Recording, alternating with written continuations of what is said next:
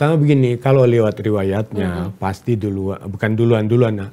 Pelumpang itu tahun 7274 itu masih sepi. Mm. Ya kan? Tidak mungkin membangun depo kalau ada pemukiman.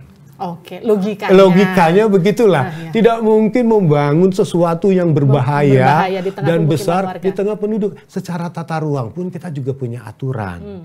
Ada zona merah yang sama sekali tidak boleh ada penduduk, zona kuning yang hmm. boleh dipakai sebagian dan tidak, dan zona hijau yang sama sekali memang boleh. Jadi pada tahun 7472 itu bisa dikatakan kawasan itu masih tidak begitu padat. Hmm. Bahkan jarak terjauh dari pemukiman itu katanya ada satu setengah kilometer. Artinya kawasan itu masih sepi. Cuman menjadi pertanyaannya kan begitu.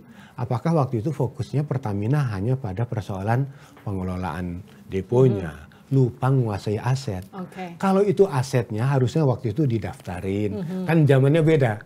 Zaman dulu Orde Baru dengan zaman hmm. sekarang kan beda kan yeah. dalam penguasaan klaim-klaim tanah-tanah tersebut. Nah, di sinilah yang sebetulnya harus jelas dulu riwayat tanahnya siapa dan bagaimana. Okay. Karena ada juga pihak lain yang mengklaim itu tanahnya mm -hmm. menjadi tanah uh, milik mereka. Mm.